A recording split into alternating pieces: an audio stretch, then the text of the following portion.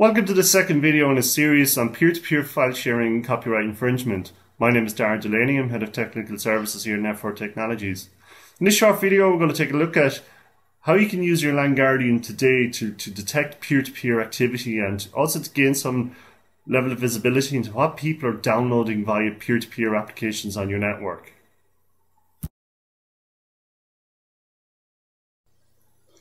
We're now logged on to the LAN-Guardian web GUI First thing I want to do here is I want to show you how you can set up this peer-to-peer dashboard. And I'm also going to modify this, going to add on a, a graph in a second showing uh, BitTorrent activity on this network. Just to show you how you created some of the elements. So it doesn't matter if you've got 20 clients or 20,000 clients, you can follow the same methodology for setting up your peer-to-peer dashboard. And the very first thing you want to do is just like with BitTorrent or peer-to-peer, is that we would go start off here with the torrent file download because that is the first thing that users will do to, to start the whole uh, media file download.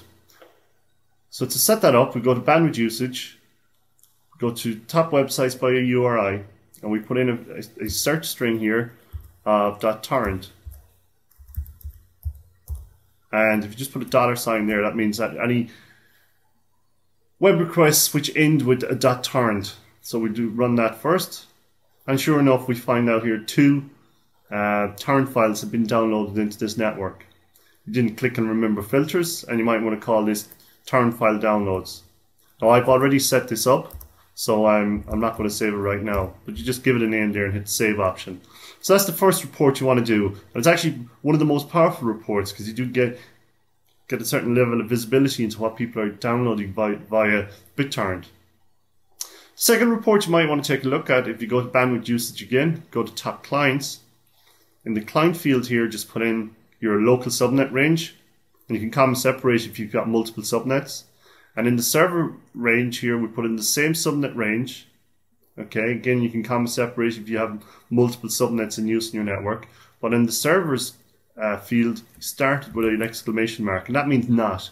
Show me any clients on my local network connected to machines which are outside of my local network. So we run that report here, and we find machines here making lots of external connections. We drill down on this particular one. Find this machine here is connected to lots of external systems and high port numbers.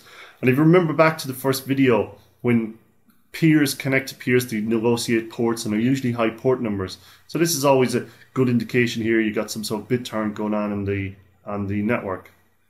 Okay, so let's set up this peer-to-peer dashboard.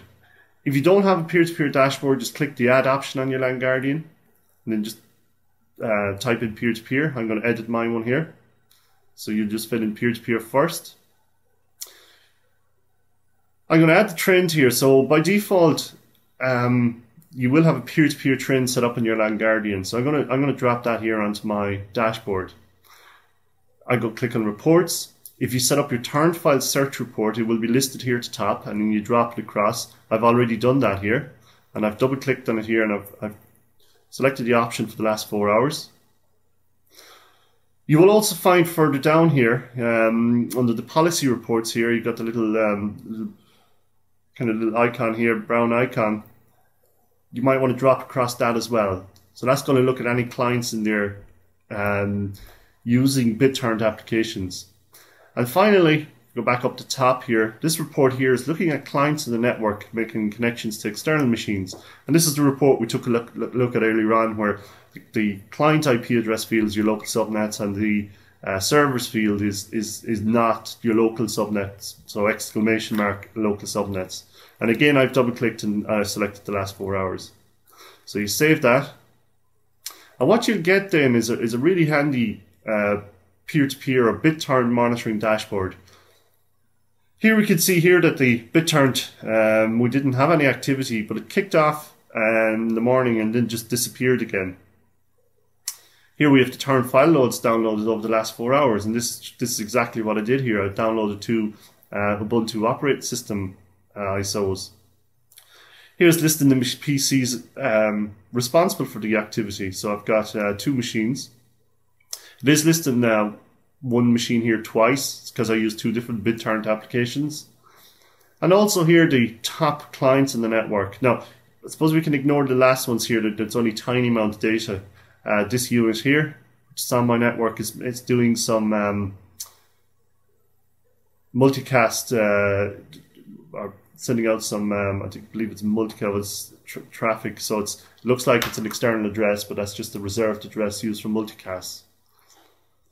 So it's a tiny amount of data, so we can ignore. But obviously, this is the one to watch here: 700 megabytes.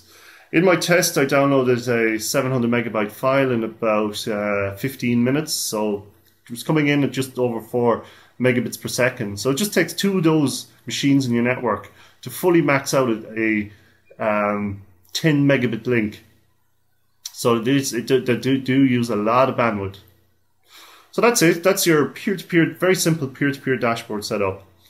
In the next video, I'm going to show you some of the new things we're working on within NetFort Technologies, and it's around even decoding the, the BitTorrent um, protocol even more and even more visibility to what's happening on the network.